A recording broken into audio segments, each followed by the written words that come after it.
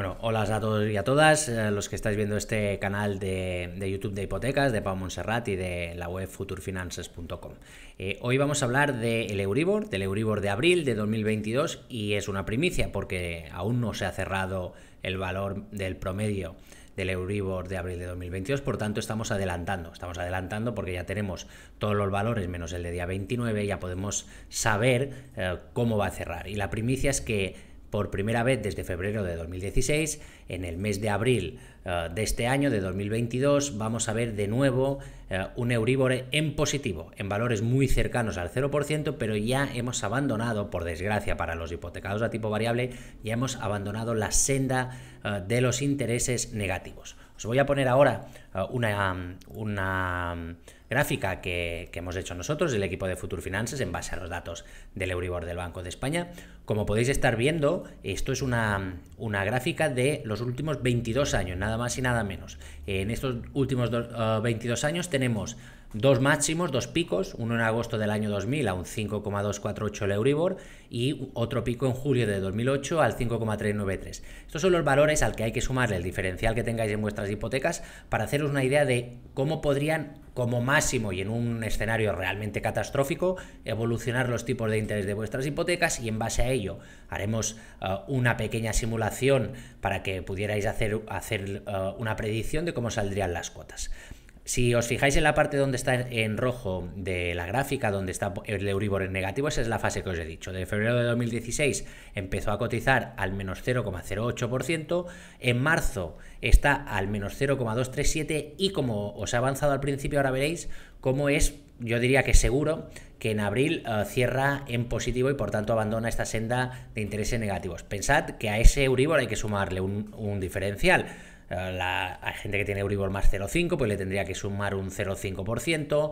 Gente que tiene Euribor más 1, pues le tendría que sumar un 1%. Eso significa que hay mucha gente, por no decir la gran mayoría, que nunca han tenido intereses negativos en su hipoteca, porque a ese Euribor en negativo le sumaban el diferencial y el resultado, el tipo de interés variable, seguía siendo positivo.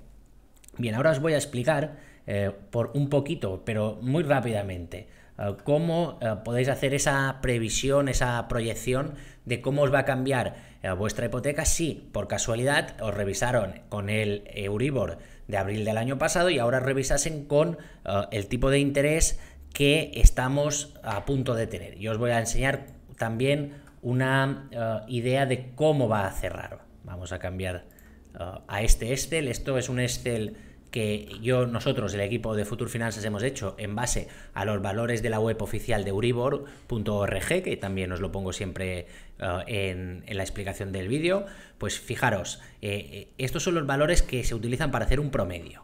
Eh, son los valores diarios del Euribor a 12 meses. ¿De, ¿De cuándo? De abril, que es el que estamos intentando predecir. Fijaros que aquí he puesto un 0 el día 29 porque yo aún no sé no tengo ese valor. Pero un cero es improbable que termine. Vamos a imaginarnos que, como vemos la tendencia de los últimos, uh, veis esta tendencia de los últimos días de cerrar al 0,1, 0,11, vamos a añadirle, para ser más, uh, probablemente para acercarnos más a la realidad, un 0,11%. Y fijaros cómo cambia a un promedio, que es el, Euribor que después sale en el Banco de España, el Euribor a 12 meses que se va a aplicar, del 0,010%. Un avance no va a ser el 0,010% porque estamos aún a la espera de este valor de día 29, pero va a ser muy cercano al 0,010%. Primicia porque aún no lo tenemos. Vale, pues ahora veamos, en base a esto, en base uh, al valor este de 0, me lo voy a apuntar, 0,010%, cómo sería una revisión de una hipoteca, cómo impactarían las cuotas si vosotros os hubiesen revisado con el de Euribor de abril del año pasado y ahora revisaran con el Euribor de abril de este año. Vamos a cambiar. Aquí lo que vamos a buscar es el Euribor de esto es Banco de España, también siempre os lo comparto. Le damos a buscar.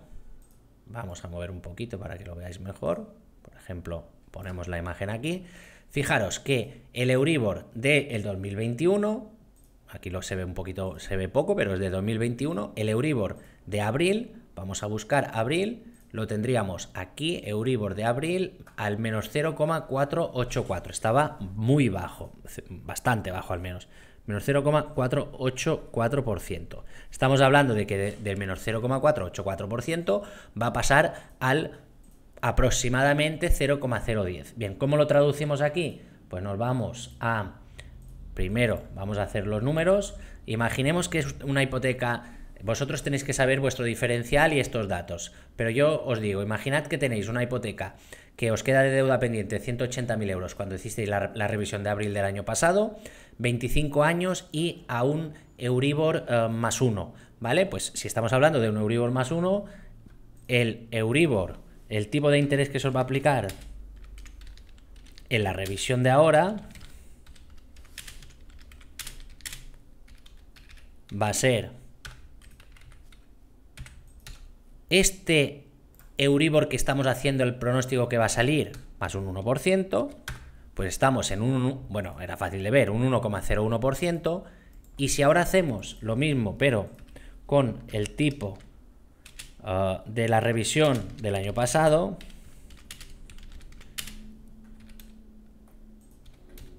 que por aquí sí que nos ayuda a hacer el cálculo porque es un poquito más, no, no es tan directo, sería el menos 0,484% más el 1%.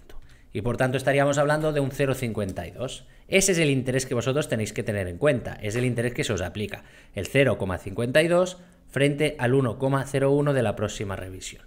Y con estos datos sí que ya nos podemos ir a el simulador del Banco de España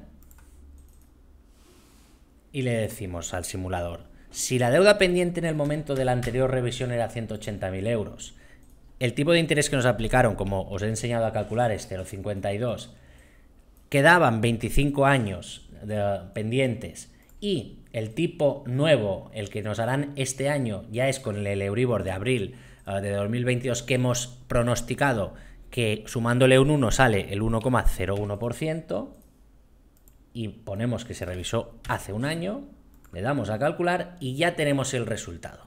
De los 639, 640 que ah, nos, nos, pagamos cuando se nos hicieron la revisión de abril de 2021, pasaremos a pagar 677. No llega, son 37 euros, un incremento relevante, un incremento bastante relevante. Ya podéis ah, hacer una predicción que esos 30, 37, 40 euros es lo que en, las próximas revisiones, si, si, las hacéis a partir de abril, en abril y a partir de abril, pues vais a tener que pagar de más en las hipotecas si tenéis una hipoteca a tipo variable.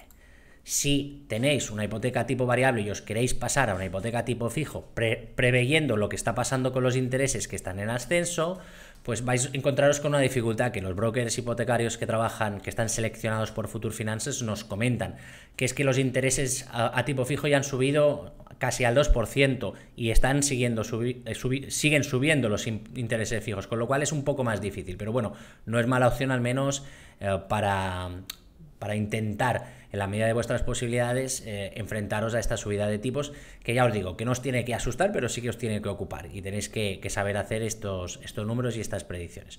Bueno, muchas gracias y cualquier cosa, comentarios, hay muchos comentarios eh, por vosotros, también tenéis el foro de Future Finances, si necesitáis hipotecas, subrogar hipotecas, etcétera, pues tenéis eh, los intermediarios de crédito inmobiliario de Future Finances que también podéis acceder.